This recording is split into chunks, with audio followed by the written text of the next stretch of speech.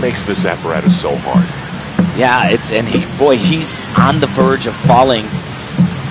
It it's just some people never get the feel of comfort on this event, especially in competitions I've known.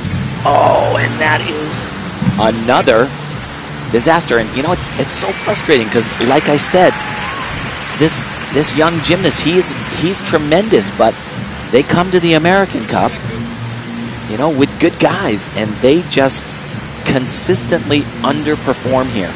And so many years we talk about American Cup on the calendar for international athletes. It never seems to be the case for the American athletes, but somehow it's early in their season and they seem to all complain about the fact that it's at this time of year and there are so many other events down the road.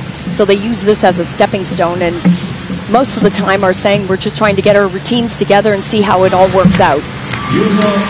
Sounds like an excuse, but yeah, I think you know, it, uh, personally, yeah. I think it's an excuse. Well, I think coming to an American Cup, it's such a prestigious event, and you should be prepared. You this- should be ready. This guy knew, you know, he knew months ago that his. I would imagine that the Japanese Federation told him that it, he was coming. But watch right here, he just clips those knees, and he kind of gave up on that a little bit. I gotta say, he. Uh, you try to tell your athlete, doesn't matter. You hit, you just go harder, squeeze, drive, and he just barely. He just barely touches that, and Tim, he's kneeling on it. yeah, well, he, he he's kneeling on it after he just barely touched it. You know, he's going to look at that videotape, and his coach, I guarantee you, they're going to say, you know what?